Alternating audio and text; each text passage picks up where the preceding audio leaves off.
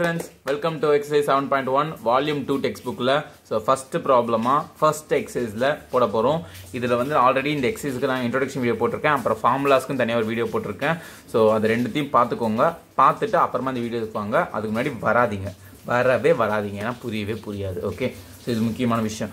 அப்புறம் second volume உங்களோட term two எக்ஸாமுக்கு செகண்ட் வால்யூம் ஃபுல்லாக இருக்குது டேர்ம் டூக்கு second volume exam second volume text book சரிங்களா? ஸோ இப்போ டேர்ம் டூவில் நீங்கள் ஸ்கோர் பண்ணணும் சப்ஜெக்டிவ் அதாவது டிஸ்கிரிப்டிவ் எழுதுகிற மாதிரி எக்ஸாம் டேர்ம் ஒன்று வந்து எம்சிக்யூ பேட்டர்னு டேர்ம் டூ வந்து எழுதுகிற மாதிரி எக்ஸாம் ஸோ இதில் நீங்கள் ஸ்கோர் பண்ணால் முக்கியமானது இந்த சாப்டர் படித்தே ஆகணும். இந்த சாப்டர் படிக்கணும்னா முக்கியமானது உங்களுக்கு டிஃப்ரென்ஷியேஷன் தெரிஞ்சாகணும். அது தெரிஞ்சால் தான் இன்டகிரேஷன் பார்க்க முடியும். ஸோ ரெண்டு பேரும் ஒன்றுக்கு ஒன்று இன்டர் தான் ஓகேவா ஸோ அதனால் தெரிஞ்சதை அதை பார்க்க முடியும். ஸோ அது தெரிஞ்சுக்கோங்க. இப்போது first problem find and antiderivative antiderivative அப்படின்னா அதுக்கு இன்னொரு பேர் இன்டெகிரல் இன்டெகிரல்னா இன்னொரு பேர் antiderivative okay inverse of derivative அதை ஆன்டி டெரிவேட்டிவ்னு சொல்லுவாங்க. அது following function by the method of inspection so method of inspection use பண்ணி நம்ம இதோட ஆன்டி டெரிவேட்டிவ் கண்டுபிடிக்கணும். ஸோ இதுக்கு நான் சொல்கிற மெத்தட் ஃபாலோ பண்ணுங்கள் ஈஸியாக அது புரியும் ஓகேவா சொல்யூஷன் ஃபஸ்ட்டு ஒரு சின்ன ரஃப் காலம் மாதிரி சைடில் நோட்டில் எக்ஸாம் பேப்பர்லையோ நோட்லேயோ போட்டுக்கோங்க. Integration of sine two x இதை இன்டகிரேட் பண்ண போகிறேன் okay so integration of recall பண்ணுங்கள் ஃபார்முலா என்னன்னா integration of sine x sine x integration பண்ணால் மைனஸ் காஸ் எக்ஸ் ப்ளஸ் சின்னு வரும். ஸோ அதை காஸ் எக்ஸ் மட்டும் வச்சுக்கோங்க. ப்ளஸ் சி வேண்டாம். ஓகே இப்போதைக்கு வேண்டாம். அது ஏன் ப்ளஸ் சி போகிறாங்க ரீசன் உங்களுக்கு வேணும்னா சொல்லுங்கள் கமெண்ட்டில் போடுங்க. ப்ளஸ் சி ப்ளஸ் சி ஏன் எல்லா சமுக்கு போகிறாங்க ரீசன் நான் சொல்கிறேன் okay I will make a separate video for that okay integration of sine x வந்து minus cos x so sine two x integration பண்ணால் மைனஸ் காஸ் டூ எக்ஸ் எக்ஸுக்கு மாதிரி two x போட்டாச்சு. ஆஃப்டர் தட் நமக்கு ஸ்டாண்டர்டான function அது x அந்த இடத்துல நமக்கு என்ன இருக்குது? டூ எக்ஸ்னு இருக்குது டிஃபரன்ஷியேஷன் என்ன பண்ணுவோம்? Function of function rule chain rule இப்படிலாம் அப்ளை பண்ணுவோம். எக்ஸ் இருக்கிறத வேற ஒருத்தர் இருந்தால் இவனை தனியாக எடுத்துக்கிட்டு டிஃப்ரென்ஷியேட் பண்ணுவோம். டூ எக்ஸ் டிஃப்ரென்ஷியேட் பண்ணால் two into one two differentiation என்ன பண்ணுவோம்? அந்த ஆன்சரை மல்டிப்ளை பண்ணுவோம். இன்டகிரேஷனில் அதே ஆன்சரை டிவைட் பண்ணணும். ஓகேவா இன்டகிரேஷன் என்ன பண்ணணும்? அதே ஆன்சரை டிவைட் பண்ணணும். ஓகேவா? ஸோ உங்களுக்கு ஒரு ஆன்சர் வந்துருக்குதா? இதுதான் உங்களோட ஆன்சர் இது ஆனால் இதை எப்படி எடுத்து எழுதணும்னா by the method of inspection method of inspection ஒரு மெத்தட் நான் யூஸ் பண்ணுறேன் என்னன்னா டி பை டிஎக்ஸ் ஆஃப் இந்த ஃபுல் டேர்ம் அப்படியே எழுதிருங்க. Minus cos two x by two is equal to sine two x therefore the antiderivative antiderivative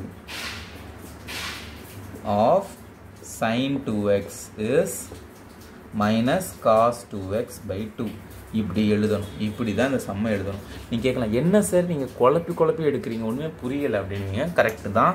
குழப்ப தான் செய்கிறேன் ஒரு நிமிஷம் திரும்ப சொல்கிறேன் பாருங்க. நல்லா பாருங்கள் ஃபஸ்ட்டு கேட்குறாங்க ஃபைண்ட் அண்ட் இன்டெகரல் இன்டெகரல் கேட்குறாங்க ஆன்டி டெரிவேட்டிவ் இந்த மெத்தட் ஆஃப் இன்ஸ்பெக்ஷனை மறைச்சிருங்க. இன்டெகிரேஷன் கண்டுபிடிங்க சைன் டூ எக்ஸ்க்கு சைன் எக்ஸ் மாதிரி இருக்குது so minus cos x formula minus cos x ம எக்ஸ் இருக்கிறத டூ எக்ஸ்னா டூ எக்ஸ் எக்ஸ் இருக்கிறத டூ எக்ஸ் இருக்கான். ஸோ இது ஸ்டாண்டர்டான ஃபங்க்ஷன் வந்து எக்ஸ் தான் இருக்கணும். டூ எக்ஸ் இருக்குது அதை டிஃப்ரென்ஷியேட் பண்ணால் டூ இந்த ஆன்சரை டிவைட் பண்ணணும். ஓகேவா இப்போது மெத்த இதுதான் உங்களோட answer so the antiderivative of sine two x two x antiderivative கேட்குறாங்க அதோட இன்டெக்ரல் அதாவது இன்டெக்ரல் கேட்குறாங்க sine two x is minus cos two x by two இது முடிஞ்சுது. இப்போ நல்லா பாருங்கள் நல்லா பாருங்கள்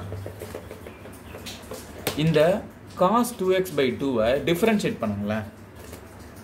Differentiation of minus cos two x by two with respect to x okay சைன்னா cos cos differentiate பண்ணால் minus sine so already minus இருக்குது minus sine two x x இருக்கிறத டூ எக்ஸ் இருக்கான் இவனை டிஃப்ரென்ஷியேட் பண்ணால் டூன்னு வரும். அந்த ஆன்சர் மல்டிப்ளை பண்ணுவோம். கீழே இருக்க கான்ஸ்டன்ட் மல்டிபிள் இருந்தால் டிஸ்டர்ப் பண்ண மாட்டோம். Cancel minus into minus plus sine two x என்னோடய கொஷினே வந்துருச்சா? ஸோ மெத்தட் ஆஃப் இன்ஸ்பெக்ஷன் இப்போ நம்ம சொல்லுவாங்க நம்ம ஸ்கூலுக்கு இன்றைக்கி இன்ஸ்பெக்ஷன் வந்திருக்காங்க செக்கிங்க்கு வந்திருக்காங்க. இவர் இன்ஸ்பெக்டராக இருக்குது செக்கியராக இருக்காரு. செக்கிங் இன்ஸ்பெக்டர் இன்ஸ்பெக்ஷன் எஜுகேஷன் டிபார்ட்மெண்ட்டில் இன்ஸ்பெக்ஷன் செக்கிங் வந்திருக்காங்க. ஸோ ஒரு இதை இந்த சைன் டூ எக்ஸை பார்த்த உடனே நீங்கள் இன்ஸ்பெக்ட் பண்ணணும். அது எப்படி இருக்கும்? டிஃப்ரென்ஷியேஷனில் எதை டிஃப்ரென்ஷியேட் பண்ணால் இந்த சைன் டூ எக்ஸ் வருது அப்படின்னு பார்த்த உடனே நீங்கள் கண்டுபிடிக்கணும். அப்படின்னா பார்த்த உடனே கண்டுபிடிக்க முடியாது. எவ்வளோ பெரிய ஆளாக இருந்தாலும் யோசிச்சு தான் இந்த மாதிரி போட்டு தான் போடுவாங்களே தவிர ஸோ பார்த்த உடனேலாம் இப்போ இந்த சைன் டூ எக்ஸ்னால் குட்டி குட்டி ஃபங்க்ஷன் சைன் டூ எக்ஸ் சும்மா ஒரு எக்ஸ் எக்ஸ் ஸ்கொயர்னால் ஈஸி இதுவே சப்போஸ் உங்களுக்கு பெருசு பெருசாக ஃபங்க்ஷன் கொடுத்தாங்க அந்த டைம்லாம் பார்த்த உடனே சொல்ல முடியாது. ஸோ அதுக்காக தான் நான் என்ன சொல்கிறேன் இந்த கொஷின் எடுத்து இன்டகிரேஷன் பண்ணிவிடுங்க ஆன்சர் வரும்ல. ஸோ அந்த ஆன்சரை டி பை டிஎக்ஸ் ஆஃப் இந்த ஆன்சரை நான் டிஃப்ரென்ஷியேட் பண்ணால் எனக்கு இவன் வருவான் அந்த கொஷினே வரும். ஸோ தேர்ஃபோர் இந்த ஃபங்க்ஷனோட ஆன்டி டெரிவேட்டிவ் என்னென்னா என்னோட இந்த ஆன்சரு இப்படி எழுதுங்க. இங்கே மெத்தட் ஆஃப் இன்ஸ்பெக்ஷன் யூஸ் பண்ண மாதிரி காமிச்சிக்கலாம். ஸோ ஆக்சுவலாக நீங்கள் இதை திங்க் பண்ணி கொண்டு வரணும். ஸோ அந்த திங்கிங்லாம் நம்ம பசங்க எப்படி திங்க் பண்ணுவீங்க உங்களுக்கு தெரியும். நான் ஒன்றும் சொல்ல தேவையில்ல. வேறு லெவலில் திங்க் பண்ணுவீங்க. அதான் சொல்கிறேன் ஓகே ஸோ அதனால தான் நான் இப்படி எழுதுறேன். புரிஞ்சுதுங்களா? ஓகே நல்லா புரிஞ்சுக்கோங்க. நார்மலாக இன்டெகிரேட் பண்ணிட்டு அதை தூக்கி ஒரு டி பை டிஎக்ஸ்னு சேர்த்து போட்டு கொஸ்டின் தூக்கி திரும்ப எழுதி முடிச்சிருங்க. அவ்வளோதான் முடிஞ்சிருச்சு. ரொம்பலாம் குழப்பிக்க வேணாம். ஓகே கிளியர் செகண்ட் சம் போமா so second sum cos three x கொடுத்துருவாங்க நெக்ஸ்ட் போட்டுக்கோங்க. By the method of inspection or using method of inspection ஏதோ ஒன்று மெத்தட் ஆஃப் இன்ஸ்பெக்ஷன் என்ன சொல்லியிருக்கேன் டி பை டிஎக்ஸ் ஆஃப் இந்த இடத்துல நான் ஒரு டேர்மை போடணும். அதை டிஃப்ரென்ஷியேட் பண்ணால் எனக்கு காஸ் த்ரீ எக்ஸ் இந்த கொஷினே வரணும். எந்த டேர்ம் போடலாம்? யோசிச்சு சொல்லுங்கள் பார்க்கலாம். தேர்ஃபோர் நான் அப்படி எழுதி வச்சுக்கிறேன். இந்த ஆன்டி டெரிவேட்டிவ் டெரிவேட்டிவ் ஆஃப் இந்த காஸ் த்ரீ எக்ஸஸ் என்ன கண்டுபிடிச்சிங்களா? எதை டிஃப்ரென்ஷியேட் பண்ணால் காஸ் த்ரீ எக்ஸ் எனக்கு வரும். பார்த்தீங்களா ரொம்ப நேரம் டைம் எடுக்குதுல்ல. அதுக்காக தான் நான் சொன்னேன். இதை இன்டகிரேட் பண்ணுறேன் இன்டகிரல் தானே சொல்லுறாங்க இன்டகிரேஷன் பண்ணுறேங்க காஸ் த்ரீ எக்ஸை இன்டகிரேட் பண்ண போகிறேன் எப்போவுமே இங்கே ஒரு ஃபங்க்ஷன் போட்டால் கூட டிஎக்ஸ் அந்த என்ன வேரியபிள் எக்ஸ்னா எக்ஸ் ஒய்னா ஒய் டீனா டிடி தீட்டானா டி தீட்டா பினா டிபி இந்தமாரி போட்டே ஆகணும். இது போடலைன்னா மார்க் கொடுக்க மாட்டாங்க. நானாக இருந்தாலும் கொடுக்க மாட்டேன். ஓகேவா இது போட்டே ஆகணும். Cos three x in recall integration of cos x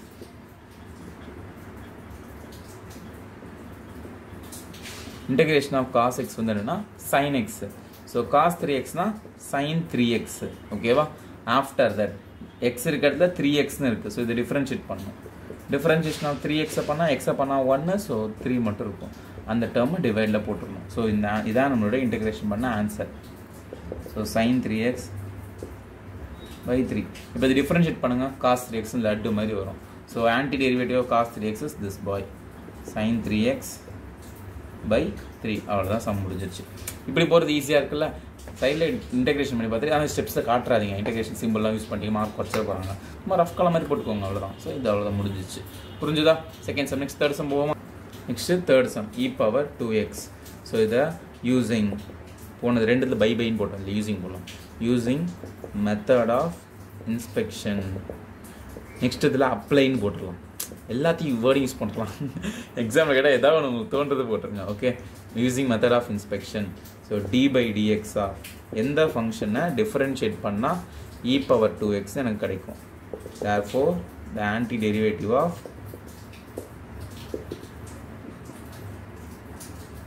e power 2x is so integration of e power two எக்ஸ்னு போட்டுவிட்டேன் இது நமக்கு யோசிக்கலாம் டைம் எடுக்கும். ஸோ அதனால் யோசிச்சு போட்டுறேன் டக்குன்னு சொல்கிறலாம் இதை. ஸோ அதனால் நான் இப்படி சொல்கிறேன் இப்போ இது இன்டகிரேஷன் பண்ணணும் இன்டகிரேஷனாக வி பவர் எக்ஸ்னது இது ஒன்று தான்ப்பா எல்லாருக்கும் தெரிஞ்ச ஃபார்முலா எனக்கும் தூக்கு திருப்பி கூட இந்த ஃபார்முலா தான் தெரியும். எல்லாருக்குமே தெரியும் இந்த ஃபார்முலா ஓகே மறக்க இ பவர் எக்ஸை இன்டகிரேட் பண்ணாலும் டிஃப்ரென்ஷியேட் பண்ணாலும் இ பவர் எக்ஸ் தான். ஸோ இ பவர் டூ எக்ஸை பண்ணால் e power two x x இருக்க இடத்துல நம்ம என்ன இருக்குது டூ எக்ஸ் இவனை தனியாக டிஃப்ரென்ஷியேட் பண்ணால் differentiation of two x two எக்ஸை பண்ணால் ஒன்று ஸோ டூ வருமா? அந்த டூவை டிவைடில் போட்டுக்கணும் okay so e power two x by two அவ்வளோதான் sum therefore antiderivative e power two x is e power two x by two sum முடிஞ்சது. புரிஞ்சதா third sum next fourth sum போகுமா?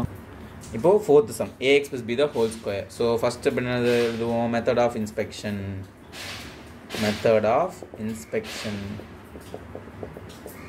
so d by dx of எந்த ஃபங்க்ஷனை போட்டால் ax plus b the whole square வரும் therefore the antiderivative of antiderivative of ax plus b the whole square is so first என்ன பண்ணணும்? இது தனியாக அப்படியே எழுதிக்கோங்க. A x plus b the whole square dx so இப்போ நம்ம பார்த்தீங்கன்னா நம்மக்கிட்ட இன்டெகிரேஷன் ஒரு ஃபார்முலா இருக்குது இன்டெகிரேஷனை ஃபஸ்ட்டு ஃபார்முலாவே நான் கொடுத்துருந்தேன்.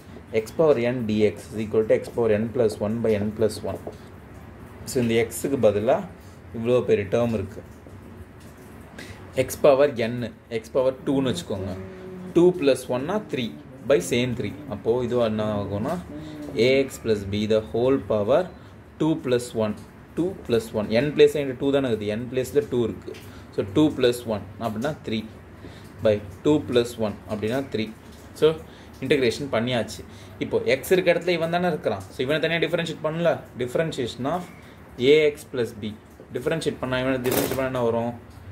எக்ஸை பண்ணால் ஒன்று ஸோ ஏ மட்டும் தான் பினா கான்ஸ்டன்ட் அது ஜீரோ ஆகிடும் ஸோ ஏ தான்.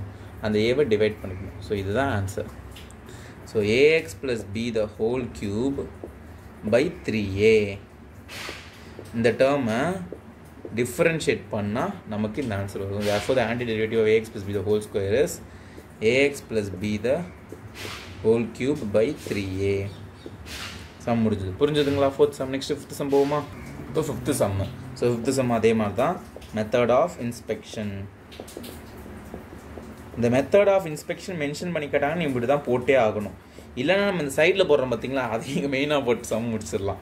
கரெக்டு தான் நம்ம போடுறது ஓகே ஸோ என்ன டேர்மாக இன்டெகிரேஷன் பண்ணால் இவ்வளோ பெருசாக வரும். Sine two x minus four இப்போ என்ன டேர்மை டிஃப்ரென்ஷியேட் பண்ணால் இவ்வளோ பெருசாக வரும் therefore the antiderivative of antiderivative of sine two x minus four e power three x is இங்கே ஆன்சர் எழுத போகிறேன் ஸோ இது நமக்கு இதை இன்டகிரேஷன் பண்ணணும் integration of sin 2x minus 4 e power 3x into dx நல்லா பார்த்துக்கோங்க இப்படி தான் ப்ராக்கெட் போட்டு தான் டிஎக்ஸ் காமனாக போடணும். ஸோ இந்த இன்டெகிரேஷன் இவனுக்கும் காமன் இவனுக்கும் காமன் அதே மாதிரி டிஎக்ஸ் இவனுக்கும் காமன் இவனுக்கும் காமன் தனித்தனியாக பிரிச்சுருங்க.